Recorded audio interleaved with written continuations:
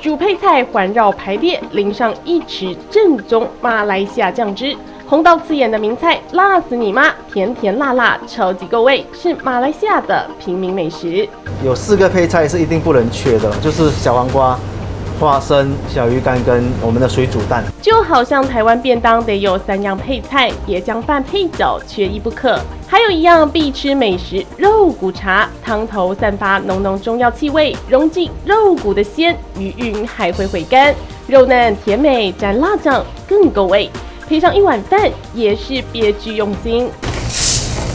泰国长米洗净后倒入电锅，加入香兰叶、盐和油。还有一包老板特调酱汁，搅拌均匀后煮熟，一碗简简单单的饭马上变得咸香，香气逼人。同样，米饭口感很突出的是以瓦煲烹煮，直接将生米煮成熟饭。倒进入味鸡肉，排列上满满腊肠，盖上锅盖，小火炖上三分钟。滋滋声响，迷人悦耳；色泽诱人的黑酱油激发香气，翠绿青葱增添视觉美感。鸡肉软嫩入味，咸中带点甜，配上一点点辣酱，层次升级。米粒 Q 弹，穿插些微锅巴，是马来西亚中南部的常见美食，更是老板池家伟来台念书时最想念的家乡味。我们在大学的时候，常常会去寻找家乡的料理。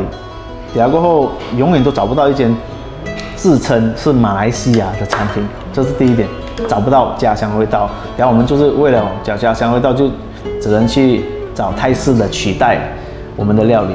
我心中就有一股那种问号，就是为什么在台湾那么多国家的美食，就是没有马来西亚。吃不到正统家乡味的遗憾，在池家伟心中埋下像开店的种子。毕业后做了两年护理师，创业念头逐渐萌芽，毅然决然辞掉工作，摆起餐车，风吹日晒雨淋也浇不熄热情，兼具红单赶不走一腔热忱，却因为父亲意外过世，差点断了他的创业路。爸爸就是在马来西亚突然得了登革热，对对，就四天就离开了，就就离开。然后那时候妈妈讲说，那你在台湾其实做。就是做到也是这样一般一般，不然要要不要回去继承家业这样？对，然后我就讲说，因为要是我想，只要我一回去就没办法再就再回来了。拜托妈妈给他一年时间拼拼看，加上哥哥姐姐从中当说客，妈妈态度终于软化了下来。